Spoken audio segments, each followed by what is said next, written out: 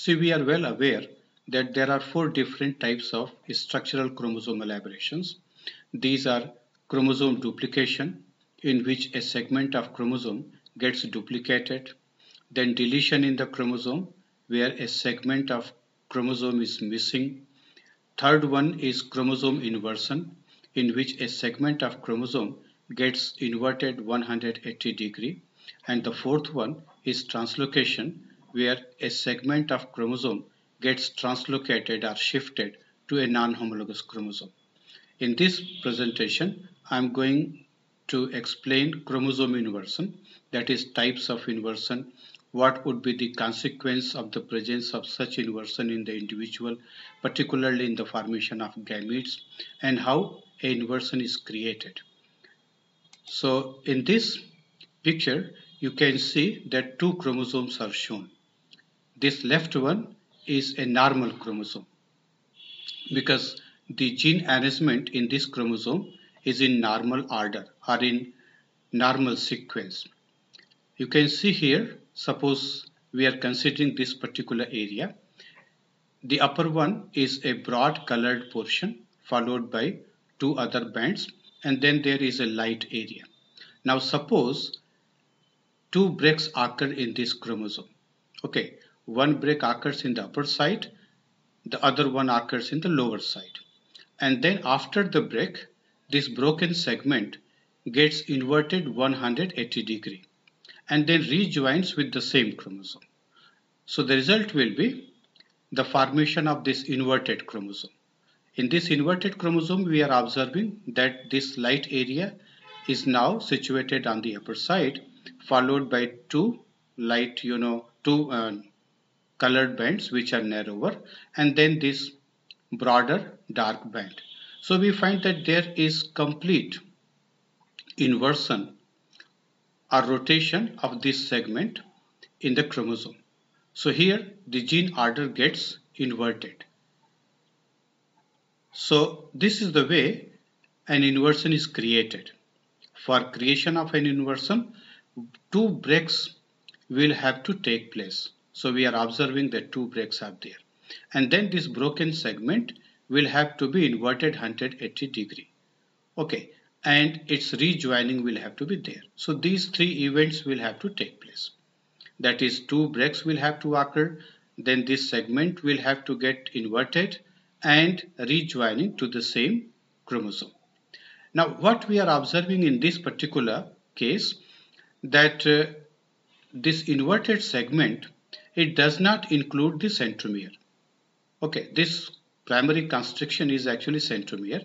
It is not included in the inverted segment. So this type of case in which centromere is not located in the inverted area is actually a case of paracentric inversion. Means paracentric inversions are those inversions which does not include the centromere.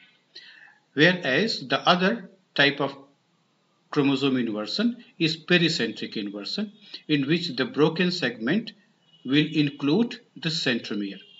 So if two breaks are occurring in the chromosome, one is occurring on one side of the centromere, the other break is taking place on the other side of centromere and then that broken segments gets inverted.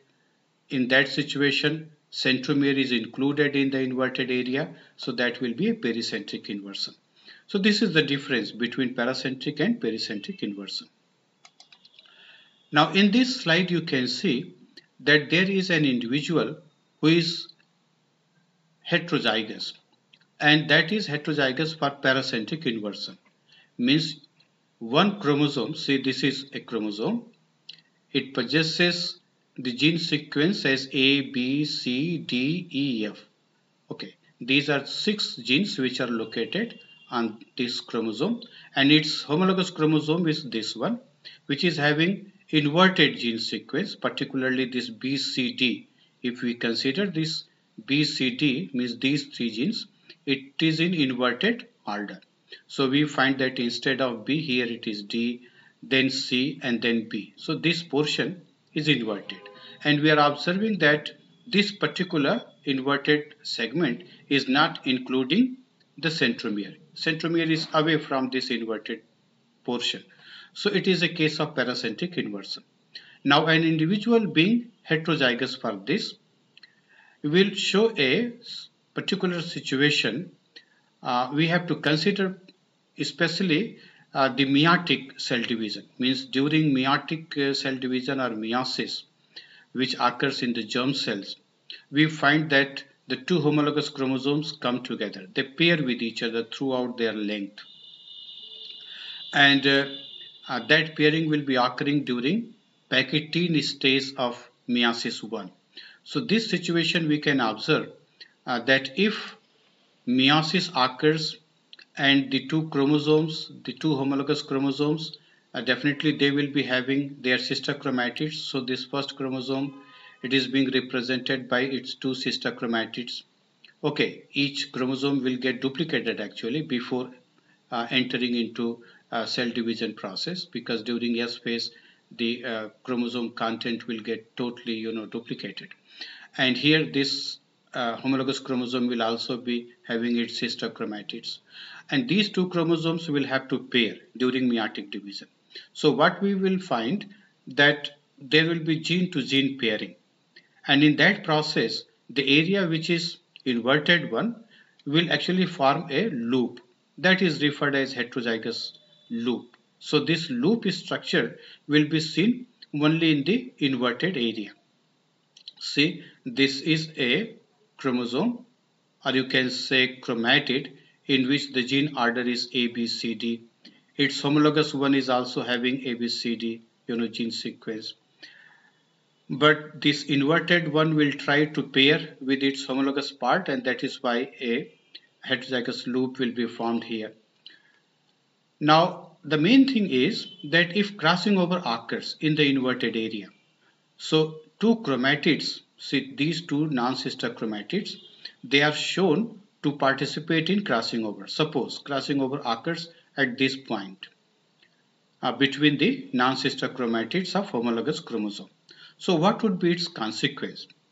We can observe its consequence in the gametes means actually uh, when this cell entering uh, in the uh, gametogenesis means it is a germ cell suppose it has entered into gametogenesis so it will form four gametes and we will have to see the distribution of these chromosomes in such gametes that we can observe in this slide. See one of the gametes out of four gametes formed from a single cell undergoing meiotic division. One particular gamete will have a chromosome in which all the genes will be arranged in normal order. So that is a chromosome which has not participated in crossing over you will find A, B, C, D, E, F. So genes are there in normal sequence and it has actually not participated in crossing over. So we observe such situation. Now the other one which has participated in crossing over may have two centromeres. See one centromere is located here, the other one is here. And we find that A gene is duplicated twice. A, B, C, D and A means when we will see the real consequence of crossing over uh, in the chromosome then we will find that in this particular gamete there will be two centromere or during uh, separation of chromosomes. It, this chromosome may get broken also. Okay. But uh, such chromosome will have dicentric um, situation and they may have duplication as well as deletion of certain genes. Likewise, in the third gamete, we find that a chromosome is reaching which is having normal gene, normal in the sense that all the genes are located. But we find that some of the genes are in inverted order like A, D, C, B. So this portion is inverted. But since all the genes are there, so it will have, it will be a normal gamete. Okay. But this chromatid also did not participate in crossing over that is why it is having normal you know means all the genes located on it although some of the genes are in inverted order particularly that area which is inverted and then the fourth one fourth gamete will also be non-viable because it will not have centromere at all so it is acentric uh, chromosome where duplication is also there, deletion of certain genes are there. So such type of gamete will be inviable. So the consequence will be that 50% of gametes will be only viable. Remaining 50% will be inviable gametes. We find that the uh, gamete in which the first chromosome, this one goes, it will be viable. Likewise, that gamete will be viable in which this third chromosome is going. Others will have dicentric uh, you know situation or acentric situation then we can see the consequence of a pericentric inversion so here pericentric inversion heterozygote is shown we are observing that this one is the centromere and the portion which is inverted is BCD see here it is BCD this portion is inverted so on this chromosome, the gene order is A, B, C, D, E, F, that is normal gene sequence is there. But in the homologous chromosome, the gene order is A, D, C, B, and then E, F. It means B, C, D, this portion is inverted. And we are, we are seeing that this centromere is located in the inverted portion.